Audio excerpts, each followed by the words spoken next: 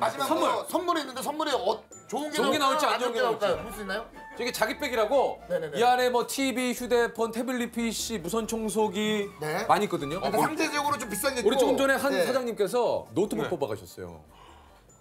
뭐 저한테 또 이런 기회 주시는 예, 거예요. 예, 한번 뽑아보시죠. 뽑아보시죠. 정장한 사장님은 자기 백에서 캡슐을 하나 뽑는데 상대적으로 좀 고가의 물건이 나올까요? TV가 있어요. TV가 있습니다. 뭘 받고 싶으세요? 무선 청소기 뭐 TV요. TV. 어, TV가. 한번 한번 해보죠. 사실 우리 거 보는 것보다 이게 제일 재밌네요. 아니 타로를 보신 분이 자기 거를 이렇게 보는 게 얼마나 재밌습니까 지금? 자 이번에도 하나만 선물 또 데스나면 안 되는데. 어, 뭐야? 됐다. 좋은 거. 컵이다, 컵. 네. 뭐, 이거 뭐예요, 이거? 이거 뭡니까? 네. 비둘기하고 뭐 이렇게. 이 컵 에이스는 컵은 사람 마음을 타는 건데 제가 이 선물 받으면 이래 가지고 되게 행복감을 느끼다. 아 좋아.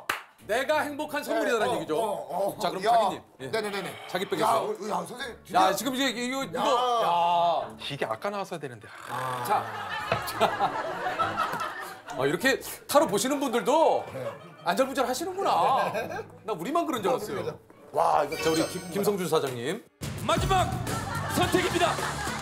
이거가 뭐가 됐든 행복하신 거예요. 아 그럼 그렇죠. 행복해야죠.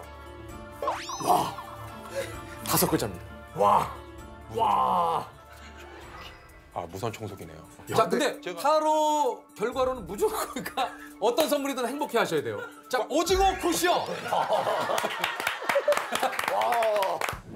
아 저희 집 가족이 오징어 되게 좋아해요. 자 대만족. 타로대로 나왔어요. 아 감사합니다. 아, 아, 아유, 행복하세요. 아유, 아, 진짜 다시 한번 지지보를 축하드립니다. 아, 오늘 저 타로 재밌게 잘 봤습니다. 아유 고맙습니다. 별 말씀.